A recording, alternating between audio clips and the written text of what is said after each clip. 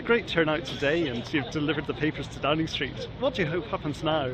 Well, uh, partly symbolic, partly Yeah. practical. We had to respond to the so-called vigor- rigorous investigation. Mhm. So-called because it, it wasn't Yeah. rigorous. Yeah. Didn't deal with the people that were involved in the citations.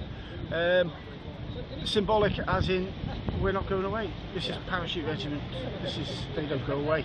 They win fights. They don't lose fights. Yes. Okay, so uh, I'm tremendously proud of the guys. I'm thankful to the guys for attending them. They've attended in their hundreds, if not, uh, you know, we're not far off a thousand there today. It's fantastic. And the members of the public all support it. Not one member of the public has said anything with uh, against it. And what keeps you going? What, what gives you the, the fight in your own belly?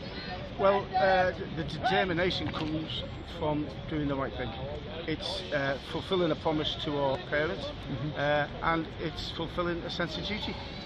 We know Stewart had done it for other members of his family, and we're doing the same. Stuart, it'd be great if you could just tell us what today means and what you hope happens next now. Oh, today means everything. It's great that everyone's turned up and, and it was such a good turnout with the band and uh, obviously police escort with horses was a good, good, uh, good little extra. Um, look, now we just got to wait for the government to do the right thing and look at the paperwork we've given them and do a more thorough investigation into it.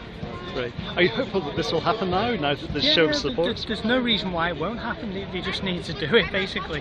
Um, but yeah, they, they've got everything. We've got everything. So let's just get it right.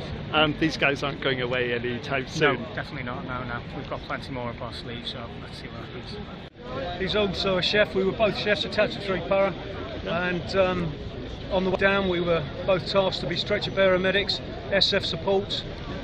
You'll understand what I mean when I say SF support, or the people that are listening to this will. And we were basically um, supporting Stu for this award, as it was misplaced originally, and he needs, he needs, his family needs, we as an Airborne Brotherhood need this to be recognised by the government as the correct decision to be made.